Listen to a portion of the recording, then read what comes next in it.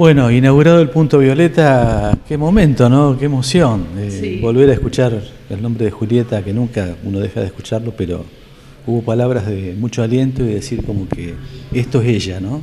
A pesar de lo que pasó. Sí, es, son, como le decía recién a Adrián, son emociones encontradas. Es como sentir que Juli sigue siempre, Juli vive en mí y, y ella siempre está, está presente y como dicen, solo muere quien se olvida y yo creo que a Juli no la va a olvidar nunca nadie. Entonces es, es algo lindo para el pueblo, para la región, es algo positivo que el Estado esté presente. Em, es momento de que el Estado, de que la justicia esté, esté presente. Hay muchas, yo digo, Juli siempre tuvo todo a su favor. En el momento que la buscaron, después con, los, con el juicio, y hay víctimas que, que no tienen la suerte de Juli. Eh, suerte entre comillas, digamos. Eh, yo tengo mamás en el grupo que están solas haciendo rastrillaje porque la policía no los ayuda, entonces están buscando los cuerpos de su hija sola. Hay una mamá en Mendoza sola por la montaña buscando a ver si encuentra un pedazo de su hija. Y no es justo. Entonces todas estas cosas que este punto violeta, que sirve para la región, para capacitarse, para dar charlas, para, para ver si esto cambia todo. Eh, cambia un poco, sirve y, ayuda a sanar nuestras heridas. Como yo siempre digo, yo siempre transformo lo que me pasó en, tratar de ayudar a otro para que no le pase lo mismo, porque es espantoso vivir con la ausencia de, una hija y que te la arranquen desde esa forma.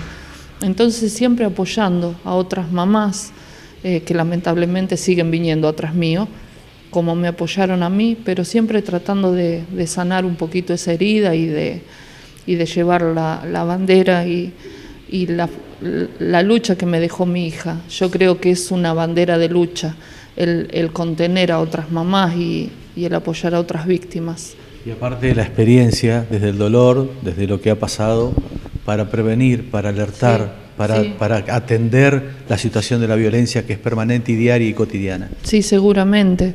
Eh, uno al, estar siempre en contacto con otras víctimas o con familiares de, víctimas de femicidio o víctimas de violencia va adquiriendo eh, más experiencia y, ayuda a ayudar a otras, a otras personas que están sufriendo lo mismo.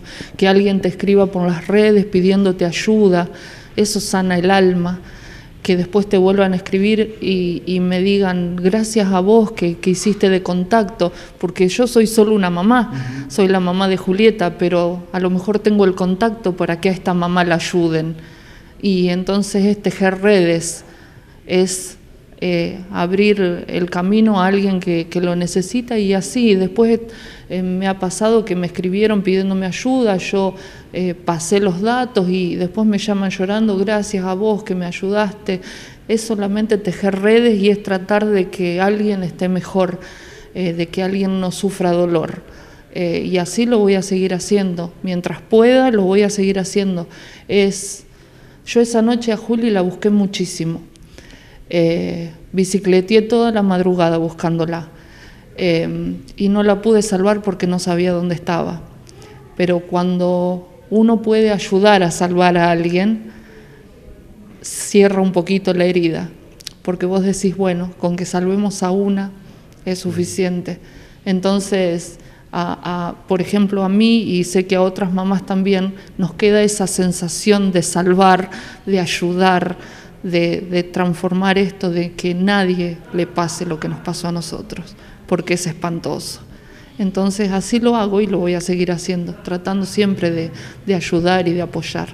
¿Te has sentido contenida desde el primer minuto de, esto?